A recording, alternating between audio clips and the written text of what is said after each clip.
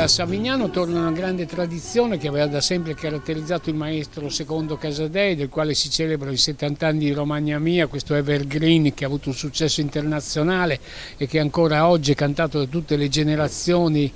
della nostra terra e cioè il concerto del primo maggio nel giorno della festa del lavoro. Qui a Savignano sul Rubicone, patria d'adozione del grande maestro secondo Casadei con le migliori orchestre giovani e storiche che si alterneranno sul palco del teatro moderno. Con i Santa Valera che sono la novità del settore di quest'anno perché sono i giovanissimi, un'età media di 18 anni, che ha portato con grande successo il nuovo liscio al Festival di Sanremo davanti a 13 milioni e 500 mila spettatori rilanciando di fatto il settore che ha trovato così una nuova vitalità gli alluvionati del Liscio che è una band orchestra che si è allestita dopo l'alluvione in Romagna, in particolare dopo le due alluvioni di Faenza. L'orchestrina di molto agevole, qui entriamo nel campo dell'indie rock indipendente che rielabora il liscio e, e fa, presenta un disco per la prima volta qui che si chiama Noi piace il liscio, è guidata da Enrico Gabrielli che è uno storico musicista